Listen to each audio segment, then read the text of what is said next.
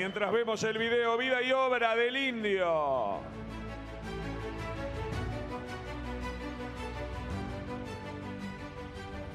Walter Olivera, exfutbolista uruguayo.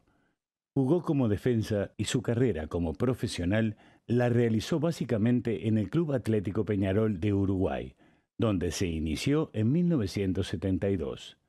En esa temporada obtuvo su primer título de campeón uruguayo, así como en 1974 y 75. Posteriormente, en 1978, 79, 81 y 82 volvió a obtener el título de campeón uruguayo. En el 82 levantó la Copa Libertadores en Chile y la Intercontinental en Tokio. Fue jugador de la selección mayor y disputó tres Copas América, tres Copas de Oro de Campeones del Mundo y una eliminatoria para el Mundial de la FIFA. El aplauso para el Indio Olivera, el capitán. Ahí está, el actual técnico, al gran capitán, al heredero de tantas glorias, de tantos grandes capitanes de la historia de Peñarol. Indio, el micrófono para ti. Bueno, un agradecimiento enorme.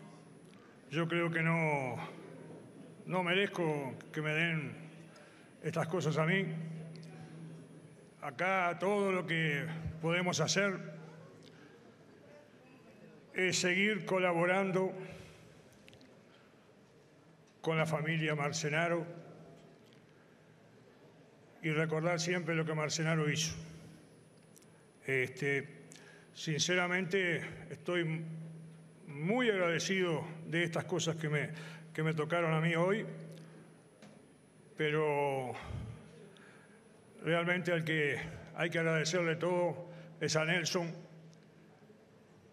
que fue el que dio todo esto. Nos encontramos pronto, señores. Buenas noches. Muchas gracias.